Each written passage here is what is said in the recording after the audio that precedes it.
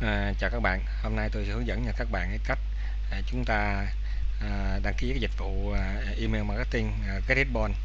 Thì trước tiên chúng ta vào trong diễn đàn đầu tư tại nhà và chúng ta kéo chuột xuống, chúng ta chọn vào cái phần là email marketing.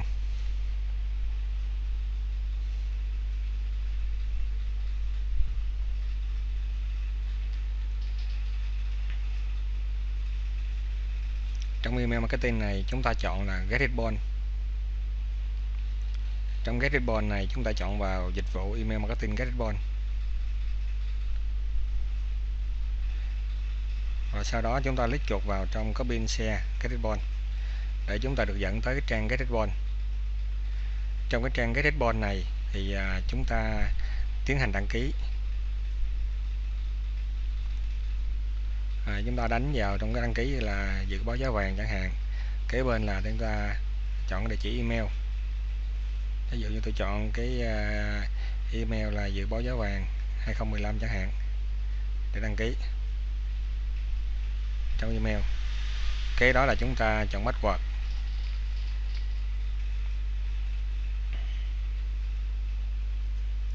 Trong cái password này thì chúng ta phải điền làm tối thiểu là có 6 chữ số cái thứ hai nữa là phải có ký tự ký tự và có cái ờ, cái chữ hoa và chữ thường. Và cái mục thứ tư là phải có các cái ký tự đặc biệt. Để bắt quạt chúng ta đáp ứng đủ ờ, bốn cái tiêu chí này thì coi như là một bắt quạt chuẩn. Đó, có chữ hoa, chữ thường và có ký tự đặc biệt, ví dụ như áo móc chẳng hạn vân. Sau đó bấm sign up, tới lại đăng ký.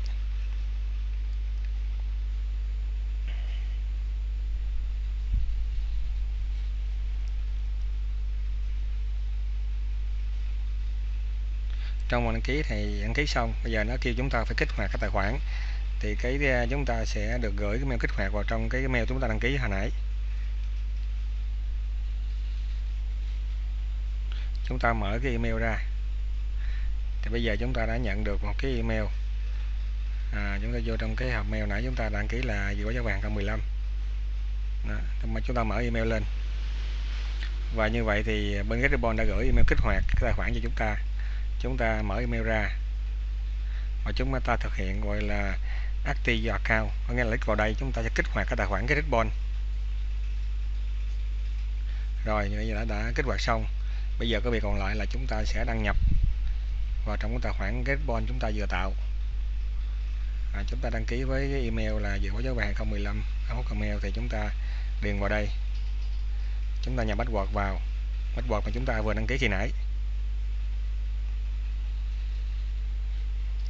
Sau đó, chúng ta chọn vào cái phần à, login.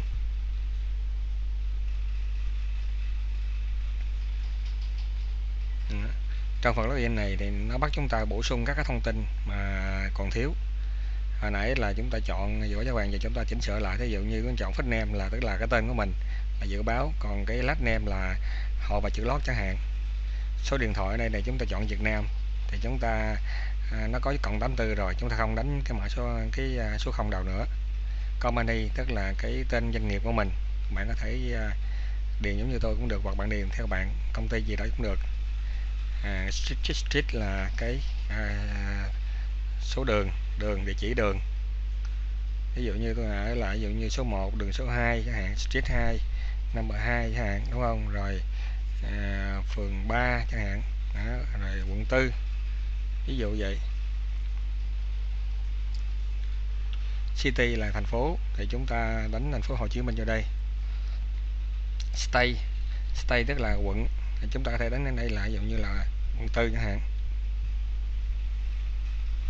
Cái zip code zip code này chúng ta có thể vào trong cái à, website à, đầu tư tại nhà để chúng ta lấy cái mã zip code này. Chúng ta vào đầu tư tại nhà. Chúng ta chọn xuống cái phần à, gọi là hướng dẫn trợ giúp. Sau đó chúng ta chọn là phía dưới là zip code ở Việt Nam. Đó. thì trong phần zip code này chúng ta chọn cái thành phố Hồ Chí Minh. Nếu ta thành phố Hồ Chí Minh chọn là số 700 ngàn hoặc là 760 ngàn chẳng hạn ta copy với chuột phải copy. Sau đó chúng ta điền vào trong cái phần à, kích hoạt của cái uh, cái đây chúng ta dán có chuột phải và dán. Chúng ta kéo xuống chúng ta bổ sung thêm à, đây Việt Nam rồi.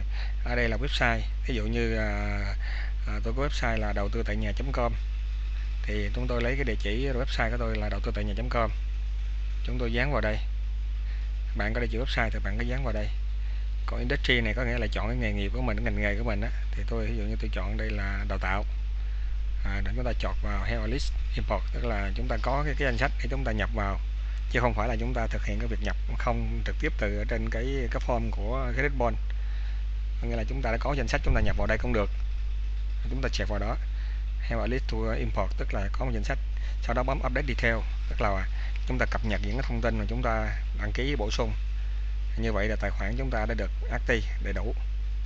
Bây giờ chúng ta có thể thực hiện ờ, tạo các chiến dịch quảng cáo ờ, chiến dịch email. Chúc các bạn thực hiện thành công xin chào tạm biệt và hẹn gặp lại.